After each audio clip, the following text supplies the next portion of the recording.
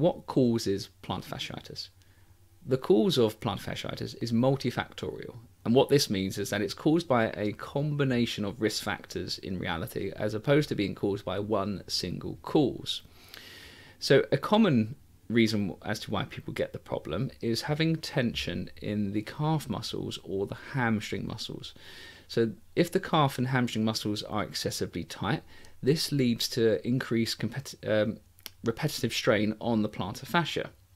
So, if the calf and hamstring muscles are tight, you're going to put more loading stress on the plantar fascia um, as opposed to if your muscles weren't excessively tight. And I see this very, very commonly in clinic. Most people who get plantar fasciitis do have increased tension of the calf and hamstring muscles.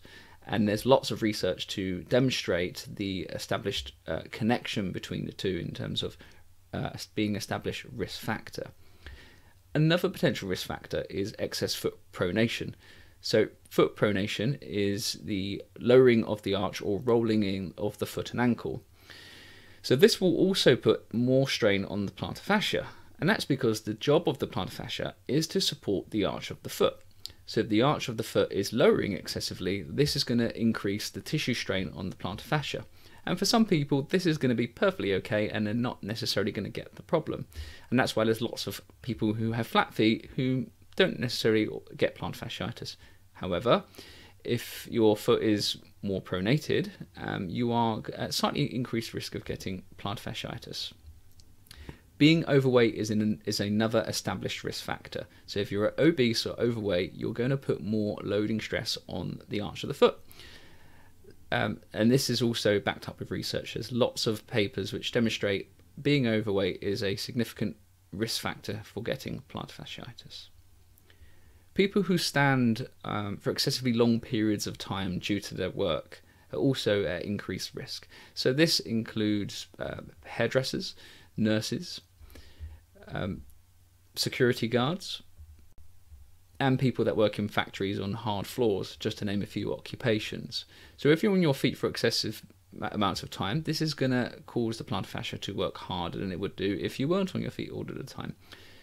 And this can lead to overuse and strain. Footwear is another common reason. So, some people's footwear choice might not be suitable for the activities that they're doing. So if you are doing a long distance walk, for example, let's say you enjoy hiking and the footwear you're wearing is not very supportive for your feet, um, so if it's a very flat or flimsy soled shoe, then if your foot is not being supported sufficiently, then the foot is going to have to work harder, and this can lead to increased stress, which can lead to getting plantar fasciitis. In reality, most people that come and see me with plantar fasciitis often have a combination of these risk factors. So they might have tight calf muscles, their footwear choice might not be very good, they may be standing for long periods due to the nature of their job, and they might have uh, a pronated foot. So it's these combination of risk, of risk factors which can lead to getting the problem. I hope you found this video useful. Uh, and, and if you're interested in more information, you can find more on my website, www.heelpainexpert.com. Thanks for watching.